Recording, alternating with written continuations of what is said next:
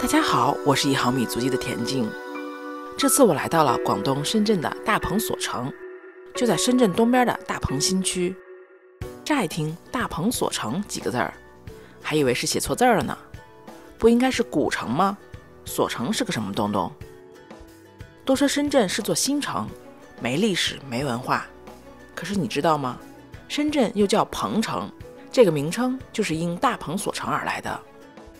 庄子《逍遥游》中写着：“北冥有鱼，其名为鲲；化而为鸟，其名为鹏。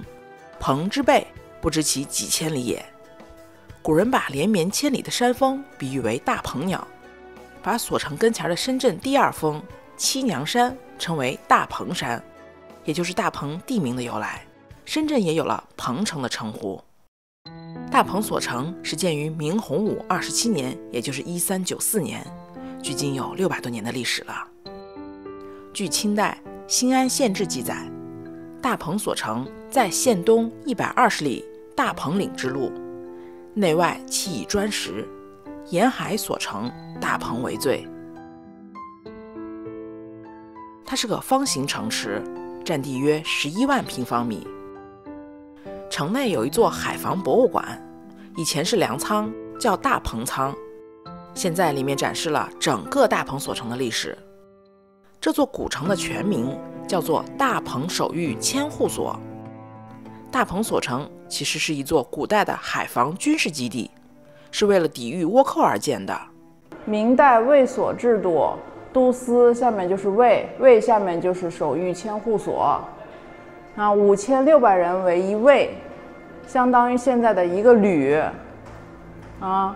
每千户所为一千二百人，相当于两个营的兵力。清嘉靖十五年，也就是一八一零年，出于海防需要，清政府在广东增设水师提督，驻扎虎门，下设五营，大鹏所城为其中一营，外海水师营。由于大鹏所城的地理位置和海防的重要性，鸦片战争前后的六十多年间，大鹏所城战备地位逐渐提升。从营到协，中国沿海一百座所城连成的这一条海上长城。鸦片战争后，英国人占领了香港，大鹏所城也就成为了抵御英军的最前沿。大鹏所城整体四四方方，与中国古代城池建设思想相吻合。作为一座军事堡垒，建筑考虑的第一位必须是先把这座城守住，防御是第一要素。城门采用的一顺一丁犬牙交错的排列，再以糯米和贝灰勾缝，实现最稳固的城墙结构。排水系统也建得非常科学。据史料记载，所城六百多年来没有发生过水灾，房屋依着自然地貌高低而建，中间高，四边低，北边高，南边低，整个古城的地势像一只乌龟的背。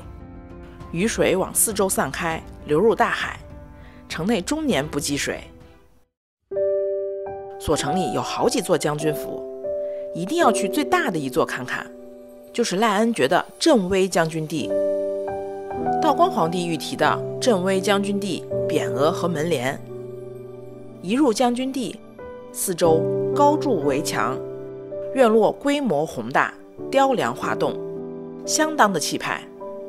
当地流传着“宋有杨家将，清有赖家帮”的说法。赖家是广东的名门望族，代代习武，报效国家。三代出了五位将军，其中赖恩爵将军一生三十六战，战无不胜，是当之无愧的战神。刚不离手，手不离刚，这句还挺有意思的啊。